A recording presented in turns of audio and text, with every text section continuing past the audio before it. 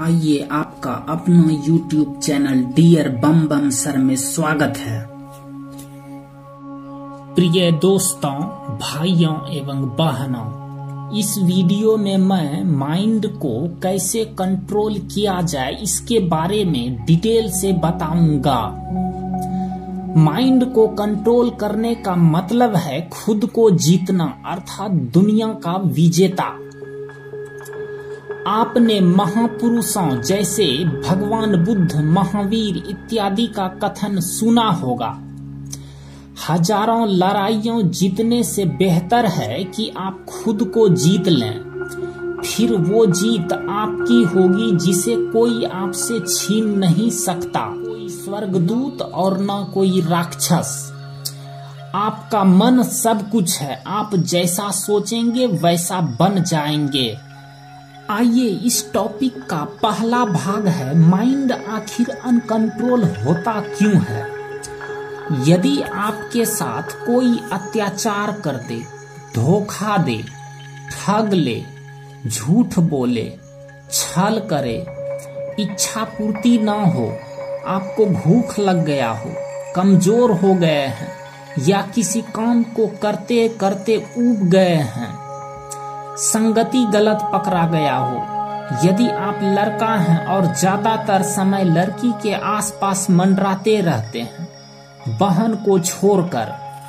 यदि आप लड़की हैं और लड़का के आसपास मंडराते रहते हैं, भाई को छोड़कर। मोबाइल को आप लिमिट से ज़्यादा देखते हैं। इन सभी परिस्थितियों में माइंड का अनकंट्रोल होने की संभावना बढ़ ही नहीं जाता, बल्कि ये निश्चित है कि आपका माइंड अनकंट्रोल होगा।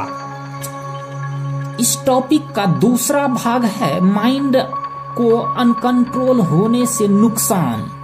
मान लिया जाए, आपके साथ कोई अत्याचार किया, ठग लिया, झूठ बोला, छल किया इससे आपके माइंड में भयंकर गुस्सा, क्रोध की उत्पत्ति होगी। और आप निश्चित है उनसे इसका बदला लेना चाहेंगे। इसमें कोई शक नहीं है। उसमें भी क्रोधित माइंड से। इसका परिणाम होगा कि उससे ज़्यादा क्षति, नुकसान आपका हो जाएगा। अनकंट्रोल माइंड का यही परिणाम होता है। मैंने इस पर बहुत बार एक्सपेरिमेंट किया है। मान लिया जाए, आप भयंकर क्रोध में आकर फाइटम फाइटा मुक्का मुक्की लाठी डंडा इत्यादि का प्रयोग करते हैं तो आप दोनों में से कोई या दोनों घायल होने की संभावना बढ़ ही नहीं जाती। बल्कि निश्चित है कि घायल हो जाइएगा। इससे आप दोनों में से किसी एक का विनाश भी हो सकता है। यह ठीक नहीं है। मान लिया जाए, यदि आप ऐसा नहीं करते हैं तो हो सकता है आप फ्यूचर में, भविष्य में इस देश का बहुत बड़ा आदमी बनने वाला हो। तो यह तो यह सपना अधूरा रह जाएगा। मैं यही सलाह दूँगा, यदि आपको बदला लेना ही है, दंड देना ही है तो शांत माइंड रखकर धीरे धीरे योजना बनाकर उसको शारीरिक कोई भी नुकसान नहीं पहुँचाए, लेकिन दंड इससे भी बढ़ा दीजिए। और वो दंड है समाज के बीस आदमी के सामने उनसे हिसाब लीजिए। आपने ऐसा क्यों किया? कैसे किया? इसका जुर्माना भरिए। इससे होगा कि आपका पावर, शक्ति हज़ार गुना बढ़ जाएगा और आपसे वो ज़िंदगी भर भयभीत रहेगा। आपका सलामी बजाएगा, लेकिन फिर भी आपको सचेत रहना है। कहीं दोबारा उसने विश्वासघात न कर दे। जब आपको किसी से झगड़ा हो जाता है तो माइंड का क्या हाल होता है, आपको पता ही होगा। माइंड को अनकंट्रोल होने से टाइम, धन, जन, माइंड की शांति, समाज की शांति, देश की शांति को भारी नुकसान पहुँचता है। अब आप लोग जान गए होंगे कि माइंड अनकंट्रोल होने का क्या परिणाम होता है। आइए अब जानते हैं कि माइंड को पूरी तरह से कंट्रोल में रहने से फ़ायदा क्या क्या होता है।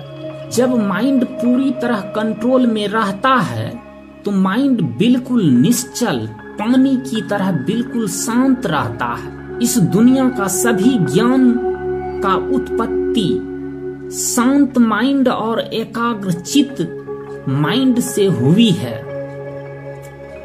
पानी में जब उबाल आता है तो उसमें इमेज नहीं दिखता। यही हाल माइंड के साथ होता है। इसलिए बात बात पर उबलिए नहीं। जब माइंड शांत रहेगा, तब कुछ भी पढ़ोगे तो माइंड में इंटर करेगा। अर्थात माइंड में आसानी से घुसेगा। शांत माइंड में एनर्जी ज़्यादा होती है। और जब इस एनर्जी का प्रहार किसी काम पर करते हैं तो उस काम को पूर्ण होने की संभावना बहुत अधिक होती है। शांत माइंड वाला लड़का, लड़की या किसी भी व्यक्ति को चाहने वाला अधिक होती है। शांत माइंड वाला आदमी समाज में आदरणीय, पूजनीय, नमनीय होता है। शांत माइंड ज्ञान का भंडार है just like Albert Einstein mind जब कंट्रोल और शांत रहेगा तो आप बीमार भी नहीं पड़ेंगे, क्योंकि पूरा शरीर को माइंड कंट्रोल करता है। आप लोग जानते ही होंगे। हम लोग जो भी खाते हैं, उसका 80 परसेंट इनर्जी माइंड खर्च करता है। शांत और कंट्रोल में माइंड रहेगा तो फैमिली तथा किसी ऑर्गेनाइजेशन को अच्छी तरीका से चला पाएँगे। कंट्रोल और शांत माइंड से पूरी दुनिया को मुट्ठी में कर सकते हैं, जैसे भगवान बुद्ध। जब आप कंट्रोल और शांत माइंड से कोई बात बोलेंगे तो सभी लोग कान लगाकर सुनेंगे।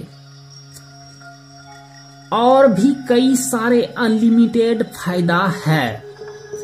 आइए अब चलते हैं माइंड को पूरी तरह कंट्रोल और शांत कैसे रखा जाए? गलत विचारों को माइंड पर अटैक आक्रमण मत करने दीजिए।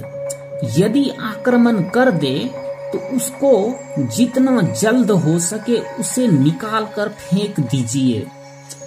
यदि किसी ने आपके साथ बुरा व्यवहार किया तो उसको तुरंत भूलने का कोशिश कीजिए। वैसे मैं जानता हूँ, तुरंत नहीं भुलाया जा सकता। लेकिन यदि भुला दीजिएगा तो आपका समय वर्तमान में बीतेगा। नहीं तो भूतकाल को सोचने में आपका वर्तमान समय बर्बाद हो जाएगा। जो आदमी किसी बुरा घटना को तुरंत भूल जाता है, समझ लीजिए वो आपसे ज़्यादा गुनी आदमी है। अपनी इच्छा को कंट्रोल में रखिए, क्योंकि जब इच्छा की पूर्ति नहीं होती है, तभी क्रोध उठता है। अपनी माइंड को काम पर फोकस कीजिए। अपना काम ही भगवान है, ऐसा सोचिए। वर्क अर्थात काम ही आपको ऊंचाई पर ले जाएगा। खेलिए, खेलने से माइंड साफ़ और कुशाग्र होता है। यदि आपको कोई दोस्त है तो दोस्तों संग कुछ समय बिताइए, उनसे भी कुछ सीखने को मिलेगा। दोस्त ज़िंदगी का सबसे मूल्यवान धन है। जब सोने जाते हैं, बाथरूम जाते हैं तो अपनी ध्यान अर्थात चेतना को आती जाती सांसों पर लगाइए। यदि आपको क्रोध आ रहा है तो अपनी विवेक शक्ति से सोचिए, इसका रीजन क्या है। तुरंत इसका रिएक्शन मत दीजिए। यदि देने का मन भी हो तो सोचिए, एक घंटा बाद देंगे। तब तक आपका गुस्सा शांत हो जाएगा। यदि समय मिले तो रीढ़ का हड्डी सीधा करके बैठिए मेडिटेशन कीजिए। इससे माइंड में ब्लड सर्कुलेशन अच्छी तरीका से होता है और ब्रह्मांड की सारी ऊर्जा आप में केंद्रित होने लगती है। चलिए फिरिए तो गर्दन झुकाकर बूढ़ा की तरह मत चलिए। रीढ़ का हड्डी सीधा करके युवा की तरह चलिए।